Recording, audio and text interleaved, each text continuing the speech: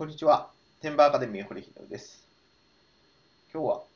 えー転売商品でですね、えー売り方と仕入れを気をつけた方がいい商品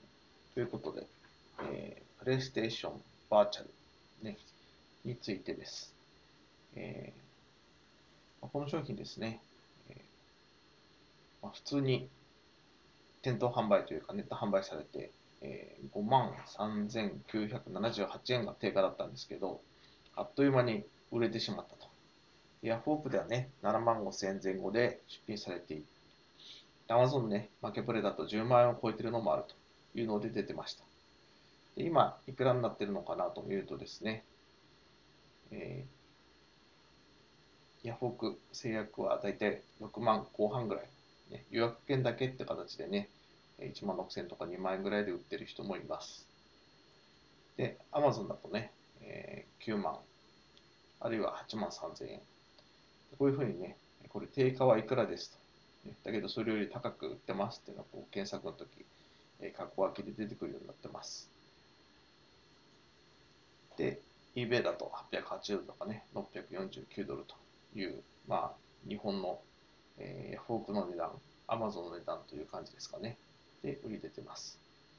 でこれね、えー定価で、まあ、うまく複数買えた人がね、え Amazon なんかで売るというのはありかなと。あるいは一番理想的なのはね、えー自分の独自ショップを持ってる人だったら、えーその独自ショップで売れば、まあ、特段俺様ルールであれば何の問題もないですね。まあ、ところが最悪なのは、えーもっと上がるかなというのでね、えプレミア価格で買ってしまうと。でプレミア価格で買って、えー後からね、えー定価でまた追加生産された場合には、かなり悲惨なことになります。まあ、それはどういうことかというと、例えば、ね、今、プレミア価格で、えー、じゃあフォークで買って Amazon で売れば、えーこれ儲かるじゃんと。ね、6万6千円で買って9万で売れば儲かるじゃんという形で買うと、えー6万6千円で買って Amazon で9万円で売りました。ね、やった、儲かったと思ったら、えー届けて30日以内に返品したいですと言われて、まあ、返品を食らっちゃったと。で、返品ね、えー受けて、で、その時にはもう値段がね、追加生産で定価で買えるようになってたと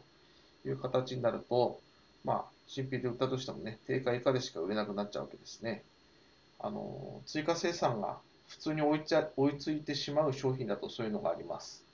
まあ、このね、プレイステーションバーチャルというのが、ま、追加生産がね、えいつされるのか分かりませんけど、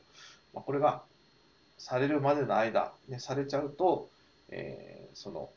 安くなったのを買われて、で、高く買ったのを返品という形でね、ね何しろシリアル番号とか全部管理はしてないと思いますので、まあ、してたとしてもその証明は難しいんでですね、まあ、自分が売ったのと違うと言っても、まあ、新品が戻ってきちゃったら受けざるを得ないというのがあります。そんなわけで、同じ商品がね、えいくつもえ買えるこの機械物、ね、あるいは CD なんかは、プレミア価格で売れたと思ったら、値段が落ちたところで返品ということが起こるんでですね、え基本的には扱わないことをお勧めします。また別な理由でですね、え割と、まあ、この手の商品は、え取り込み詐欺にも合いやすいっていうのもちょっと怖いんで、まあ、